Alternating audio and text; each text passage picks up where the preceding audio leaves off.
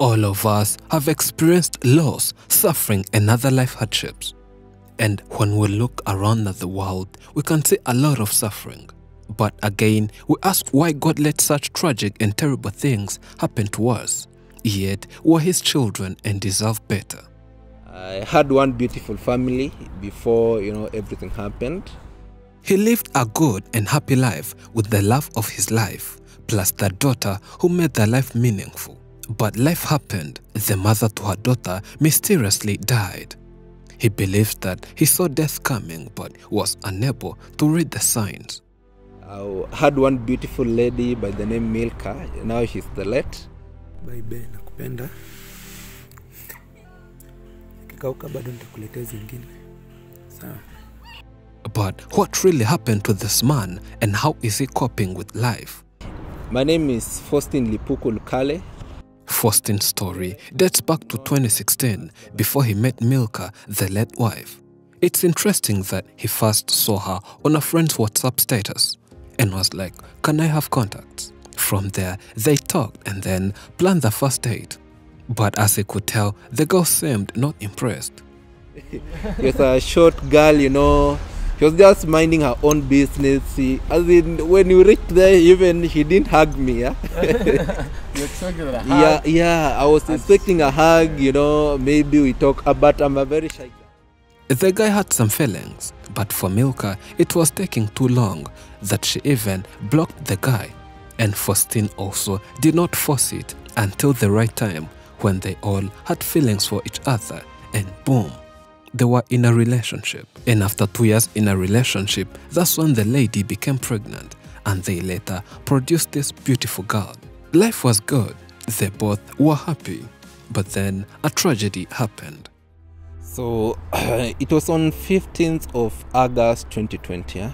Uh, that is a day I will never forget in my life. Yeah, it was quite sad. Yeah? It was it was one happy day. Yeah, because that is the same same day we were from uh, family photo shoot. Since Faustin is a videographer and a photographer at the same time, after the COVID 19 and the lockdowns, he wanted to have some new family photos. But a day before, something strange happened and they never paid attention. When a man was editing some photos, Milka came to her and they talked of an article where a man had lost his wife after paying dowry. Well, that was a painful story, but they never minded. The next day, it was their first photo shoot and they were happy. And of course, they took good pictures that they never knew would become memories soon. They even had to walk for 4 kilometers. And that was their last evening walk together and she was singing for him. And whenever he listens to some of those songs, it brings all the memories. They then drove back home and Milka was singing to baby Talisha. A vehicle hit the side where Milka was sitting and the worst of all happened. He does not often want to recall or say anything about it. The last thing she ever told me was "bear." That is that is the last thing I can remember. You know, that is the last thing she. That is the last word she ever told me. Because every time she was calling me bear. When that accident happened, no one was willing to offer any support, as even when the ambulance came, they did not take her until when the police arrived and she was taken to the mortuary. The man lost his mind since they had a wonderful day, took photos, posted, and people were reacting with good words. But later, they had a horrible ending. yeah kutakuwa aje you know that is like how is now where is god? You know at that time i was asking god why you know eh, like why? Why this time you know eh? Why this time when we had you know we were uh, we had started to see light you know like we had so much you know ahead of us yeah as in why god why this time yeah I, I tried to you know I, I tried to jump on the road to get hit with a car but uh, every time I could do that you know they could you know they could rush at me and uh, get me back you know. I, could, I was not believing that I'm signing you know. I was given a book to sign you know. We have to you know uh, as in Milke is now going to the mortuary. The only thing that could maybe give me peace was just you know just not being there you know that is the only thing that could give me that peace you know so because i'm not even sure if talisha will survive yeah The funeral service followed and Milka was taken to rest, but Faustin has never got over it. Everywhere he goes, he thinks of Milka. The baby was taken to the hospital in ICU.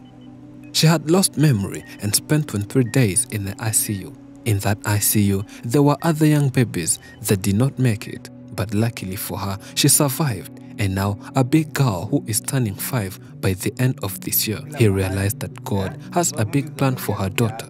That's why he does everything to make sure that him and the daughter are happy. Now, the daughter goes to school every day and he has to pick her after schools. We're waiting outside for him and the daughter.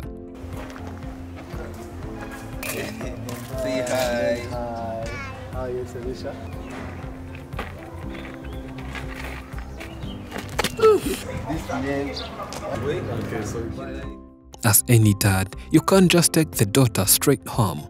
You need to pass by a supermarket and get your daughter everything she wants, then continue.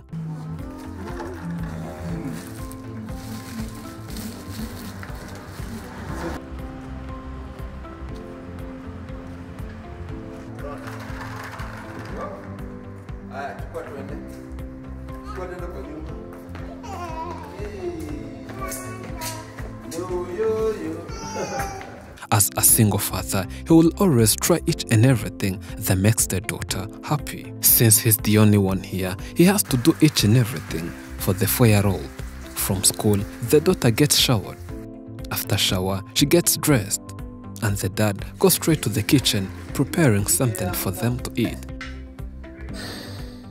It's difficult being the father and even the mother at the same time. Yet you have other job activities, but Faustin says he has to do it all and makes sure everything is organized. It's now been two years since he lost the lover of his life, and the memories of him and the lover always haunt him.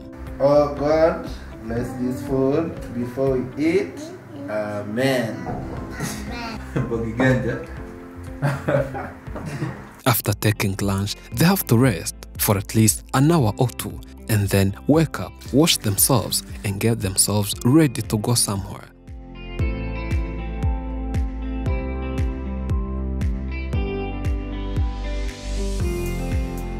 Taking the baby out is one way of not letting the daughter get bored, and they have to travel every evening, go out and visit different places. On their way, the father gets out and buys some fruits, and this is a day in life with him and the daughter, and it has been helping him to slowly by slowly get by.